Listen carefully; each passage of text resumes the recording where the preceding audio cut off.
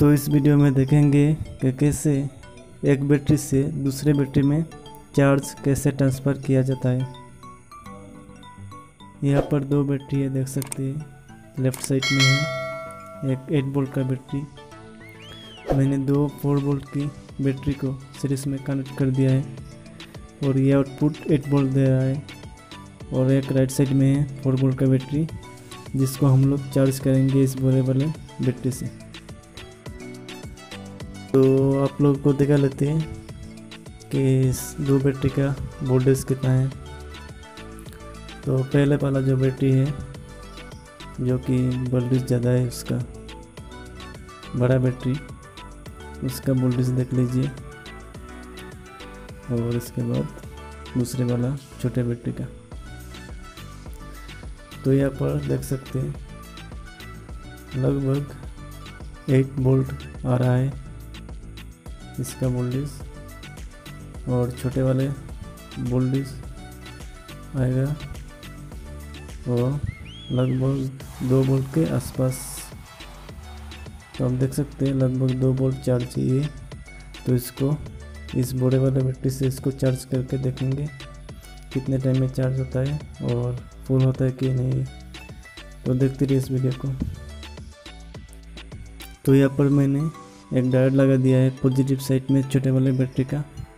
Diode का जो cathode side है, उसको लगा दिया है बैटरी के पॉजिटिव साइड में। देख सकते हैं क्यों लगाए है ये। इसका मतलब क्या है? तो आप देख लीजिए स्क्रीन पर।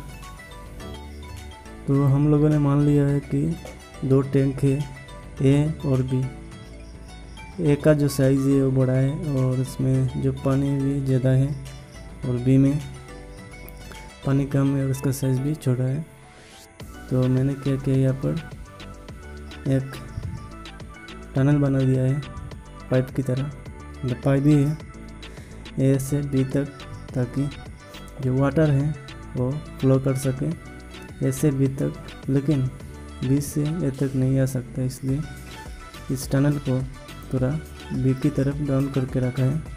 तो ये काम करता है डायोड बड़े वाला बैटरी से छोटे वाले बैटरी में सिर्फ़ चार्ज जा सकता है, लेकिन रिवर्स नहीं आ सकता। तो इसलिए इस डायोड को लगाया है कि अच्छे से चार्ज हो सके।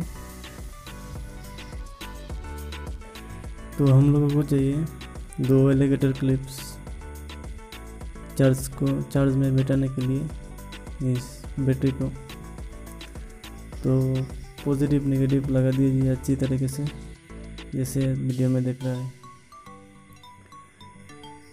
यहाँ पर पॉजिटिव जो हो जाएगा, वो यार क्लिप ये डायोड के एनोड में जाके लगेगा, और नेगेटिव तो नेगेटिव में ही लगेगा।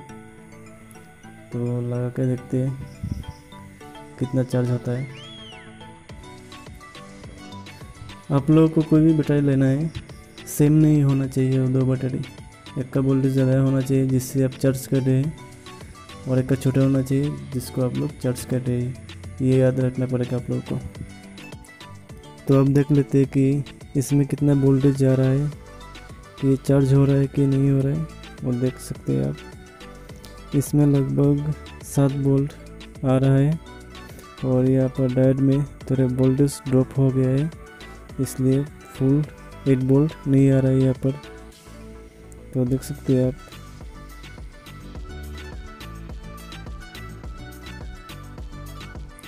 लगभग आधे घंटे के बाद मैंने इसका चार्ज खोल लिया है और इसका वोल्टेज चेक करके देखेंगे कि कितना चार्ज हुआ है ये बैटरी।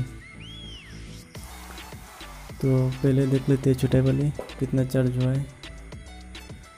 और बाद में देखेंगे बड़े वाले को।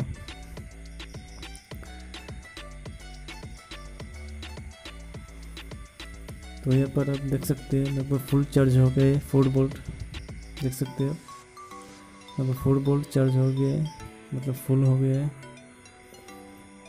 और बड़े वाले बैटरी में लगभग दो बोल्ट माइनस हो गया है मतलब कम हो गया है। और यहाँ पर लगभग सिक्स बोल्ट दिख रहा है। सिक्स बोल्ट है, यहाँ पर पहले था एट बोल्ट तो इस तरीके से आप कोई भी बैटरी को, बैटरी से चार्ज कर सकते हैं।